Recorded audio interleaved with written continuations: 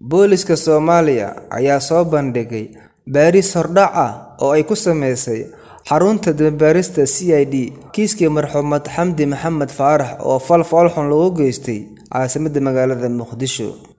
Afhayeenka ciidanka booliska Soomaaliya ayaa markii ugu horeysay tacsi ka diray geeridii ku timid marxuumadda waxa uuna sheegay in ilaa kow iyo toban eedeystayaal ay gacanta lagu hayo kuwa kalena lagu daba jiro waxaana qoyska ay ka dhalatay gabadha uu la wadaagay in baarista meel fiican ay mareyso isagoona dhanka kale shacabka ugu baaqay in ay ka gacan siiyaan soo qabashada ragga maqan. raxmaan raxiim shan iyo tobankii sebtembar laba kun iyo labaatan xarunta baarista dembiyada c i d ee ciidanka booliiska soomaaliyeed.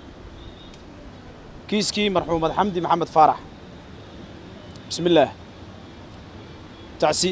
Waxaan ka tacsiyeynaynaa innagoo ka xun lana damqanayno qoyskii marxuumad xamdi geeridii ku timid marxuumad xamdi maxamed faarax.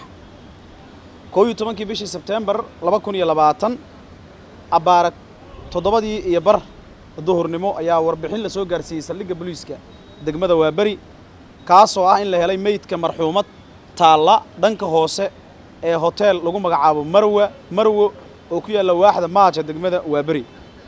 Meydka marxuumadda ayaa la geeyey isbitaal madiina isbitaal daarushifa kadibna waxaa loo wareejiyey xarunta baarista dembiyada c i d halkaas oo looga sii wareejiyey isbitaal madiina si baarista kiiskan loo sii guda galo.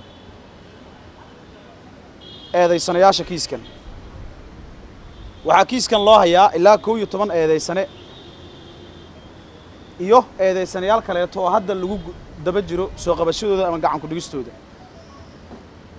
sidoo kale waxaa taariikhdu markay ahayd labayo tobankii bishii sebtembar laba kun iyo labaatan laba tuhunsanayaal ay sii daysay maxkamadda awoodda u leh kuwaas oo ku sifeeyey in la tuhunsanayaashaas aysan wax xidhiira la lahayn.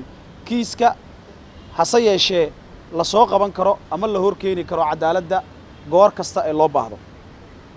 Farriin waxaan ummadda soomaaliyeed gaar ahaan ehelada marxuumaddii dhimatay ee xamdi maxamed faarax u caddaynaynaa in baarista kiiskan ay marayso meel wanaagsan.